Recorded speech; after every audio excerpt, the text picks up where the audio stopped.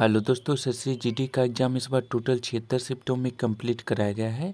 तो आज के इस वीडियो में सभी छिहत्तर शिफ्टों के एवरेज स्कोर के आधार पर देखने वाले हैं कि इस बार एस एस में कौन से ऐसे दस शिफ्ट है जो कि सबसे हार्ड है और इन दस शिफ्ट में जितने भी कैंडिडेट का एग्ज़ाम हुआ है, उन सभी कैंडिडेट को नॉर्मलाइजेशन में बहुत ही ज़्यादा फ़ायदा मिलने वाला है। और इस बार नॉर्मलाइजेशन में एस एस भर्ती के मुकाबले किस तरह से ज़्यादा मार्क्स बढ़ने वाले हैं, इसके रिलेटेड भी आप सभी को डिटेल में समझाने वाले, इसलिए आप सभी वीडियो को पूरा अवश्य देखिएगा। तो चलिए आज का वीडियो स्टार्ट करते हैं। सबसे पहले जानते हैं कि इस बार नॉर्मलाइजेशन होने के बाद S S C G T दो हज़ार इक्कीस भर्ती के मुकाबले ज़्यादा मार्क्स क्यों बढ़ेंगे और S S C G T दो हज़ार इक्कीस भर्ती में हाईएस्ट नॉर्मलाइजेशन होने के बाद कितने मार्क्स बढ़े थे और इस बार हाईएस्ट नॉर्मलाइजेशन होने के बाद कितने मार्क्स बढ़ सकते हैं? तो आप सभी को पता है कि इस बार एस एस का एग्ज़ाम टोटल एक सौ साठ मार्क्स का हुआ, जबकि दो हज़ार इक्कीस में एग्ज़ाम टोटल सौ मार्क्स का हुआ था और एसएससी सीजीएल का आप सभी को पता है कि एग्ज़ाम टोटल 200 मार्क्स का होता है। 100 मार्क्स के एग्ज़ाम के तुलना में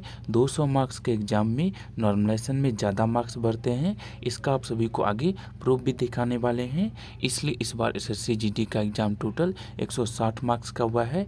इसलिए इस बार एस एस में नॉर्मलाइजेशन होने के बाद पहले की तुलना में यानी कि 2021 एग्ज़ाम की तुलना में नॉर्मलाइजेशन में ज़्यादा मार्क्स बढ़ने वाले हैं। आप सभी एस एस सी इक्कीस एग्ज़ाम का देख सकते हैं कि 2021 एग्ज़ाम में नॉर्मलाइजेशन होने के बाद हाईएस्ट कितने मार्क्स तक बढ़े थे? आप सभी एक कैंडिडेट का स्कोर कार्ड देख सकते हैं कि इस कैंडिडेट का रॉ मार्क्स अंठावन है। वहीं नॉर्मलाइज स्कोर देख सकते हैं कि बहत्तर है, यानी कि नॉर्मलाइजेशन होने के बाद S S C G D दो हज़ार इक्कीस एग्ज़ाम में हाइएस्ट चौदह मार्क्स तक बढ़े थे। S S C G D दो हज़ार इक्कीस में टोटल सौ मार्क्स का पेपर हुआ था। वहीं आप सभी S S C C G L दो हज़ार इक्कीस की एक कैंडिडेट का स्कोर कार्ड देख सकते हैं। एस एस सी सी जी का आप सभी को पता है कि टोटल 200 मार्क्स का एग्ज़ाम होता है। आप सभी देख सकते हैं कि इस कैंडिडेट का रॉ स्कोर एक है। वहीं नॉर्मलाइज स्कोर देख सकते हैं कि एक है। यानी कि नॉर्मलाइजेशन होने के बाद इस कैंडिडेट के लगभग 21 नंबर तक बढ़े थे। तो आप सभी ने देखा कि सौ मार्क्स के एग्ज़ाम की तुलना में 200 मार्क्स के एग्ज़ाम में नॉर्मलाइजेशन होने के बाद ज़्यादा मार्क्स बढ़ते हैं।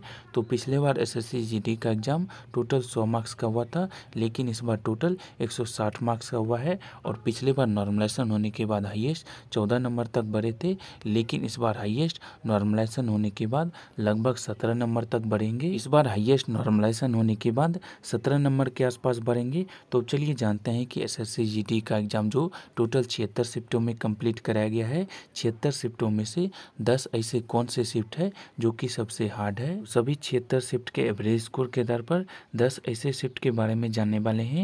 जिस शिफ्ट का एवरेज स्कोर सबसे कम है, यानी कि जिस शिफ्ट का एवरेज स्कोर सबसे कम है, वे शिफ्ट सबसे हार्ड है, वहीं जिस शिफ्ट का एवरेज स्कोर सबसे अधिक है, वे शिफ्ट सबसे ईजी है। तो आप सभी देख सकते हैं कि सबसे हार्ड शिफ्ट में आप सभी के तेरह जनवरी के फोर्थ शिफ्ट है, सत्रह जनवरी का सेकेंड शिफ्ट है, तेरह जनवरी का फ़र्स्ट शिफ्ट है छः फरवरी का फोर्थ शिफ्ट है। उसके बाद आप सभी के बारह जनवरी का फोर्थ शिफ्ट है, चौबीस जनवरी का फोर्थ शिफ्ट है उसके बाद आप सभी के 16 जनवरी का सेकेंड शिफ्ट है 11 जनवरी का फोर्थ शिफ्ट है।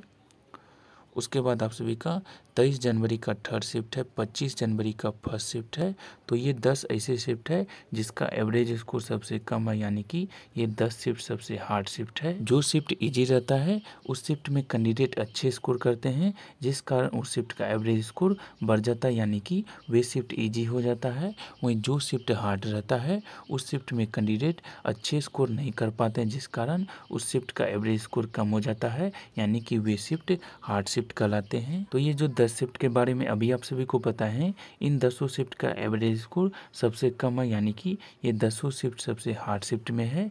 इन दस शिफ्ट में जिस भी कैंडिडेट का एग्ज़ाम हुआ है, उन सभी कैंडिडेट को नॉर्मलाइजेशन में बहुत ही ज़्यादा फ़ायदा मिलने वाला है। तो चलिए आज का वीडियो समाप्त करते हैं। एस एस एग्ज़ाम के रिलेटेड जैसे कॉल लेटेस्ट अपडेट आएगी, हम आप सभी को वीडियो के माध्यम से जानकारी दे देंगे। इसके लिए आप लोग चैनल को सब्सक्राइब करें, वीडियो को ज़्यादा से ज़्यादा शेयर करें और लाइक करें। तो चलिए आज का वीडियो समाप्त करते हैं। वीडियो देखने के लिए आप सभी का धन्यवाद।